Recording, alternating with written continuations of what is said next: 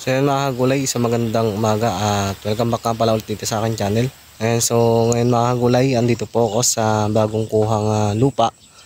At ngayon pinapatay naman po namin ito ng Emerald Star. Ayan, so ayun yung mga iba nating mga kasama. So bali mga kagulay, hindi na nga po namin ito masyadong naigayak na traktor o nalinis. So yung pagkaroto, siya na po yan. At yung dating ah, tanim nito ay siling ah, Taiwan. So, bali mga kagulay, ginawa na lang namin ay ah, tinutundos o dinudulos yung ah, mismong buto ng sitaw. So, bali mga kagulay, ang, ang aming variety pa rin ay chai tai. Ayan, so wala pa rin pagbabago sa variety. Hindi pa rin po kami nagpapalit. So, bali ang papasok dito mga kagulay na kilo sa 4 kilos po. So, 4 pack po na Emerald Star yung aming maitatanim dito. So, bali apat kami. At ginagawa na lang namin ah ah, dinudulos para hindi po siya mag-stock ng tubig sa mismong butas at kasi nga ah, muulan pa dito pagkahapon.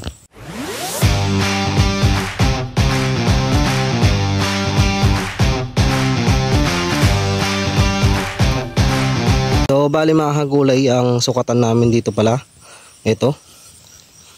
Ayan. So bali ang ah, kanyang pit ay nasa 4.5 yung pagitan ng aming ah, tudling. Ayan, so may gamit kami dito one ply. Ito. Ito na yung mismo magiging guide namin para maidiretso namin yung aming tudling. So hindi na namin din ito binutasan at saka nilagyan ng tudling kasi pagka umulan bababa lang po sa mismong daanan o doon sa pinag-araruhan yung tubig. At syempre kung doon maitatanim yung buto, ah, maaari po itong mabulok. So ginawa na lang po namin muna kahit tinutusok na lang po muna namin dito sa lupa at hindi na rin po namin ito dinidinan para hindi po siya masiksik. Ayan, so bale, tatlong pitak po ito na medyo malalaki. Ayan. So, apat na kilo sa ang sukat nito mga kagulay ay nasa 4.7 hanggang 4.8. So, bali, apat na kilo po ang aming ah, nakagayak na buto dito sa ngayon.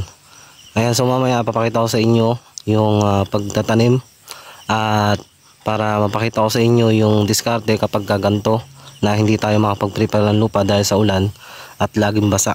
So, ayan nga pala mga gulay. Oh, palilipat lang namin ng nylon. Ito. So, bali ang pagitan nitong tanim nito mga gulay ay halos isang dangkal lang. Ayan. So, ganyan po kami magtanim ng ah, sitaw. Ganyan kalayo lang. So, yun, ah, bago naman namin ito naman ito mga inispirahan din namin ito ng pamatay damo na randap tsaka ang roxon. So yung randap ang pinapatay niya yung mga ganto. At tsaka yung mga salampak. Kulasiman na yan. So sa ang roxon naman para dito naman po yan. Ito yung may tubig at malapad na dahon.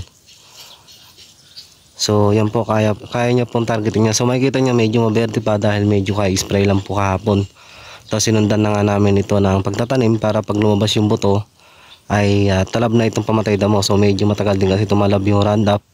Halos ah, weeks ang ah, ang epekto niya. So depende pa rin din sa panahon kung minsan na mainit at ngayon niya medyo uminit naman ngayon tanghali pero mamaya sigurado ulan to. So depende sa panahon kung ah, yung talab ng pamatay damo. Ayan so naka apat na plat na kami dito So ito yung bagong kuha namin na area. So update ko po kayo dito sa tanim namin sitaw sa binutas na to. So sa dinulos na to para may idea kayo sa pagtatanim sa mga basa na area. So pwede po yung ganyan. Magkaiba po kasi ang season, magkaiba din po ang diskarte ng pagtatanim.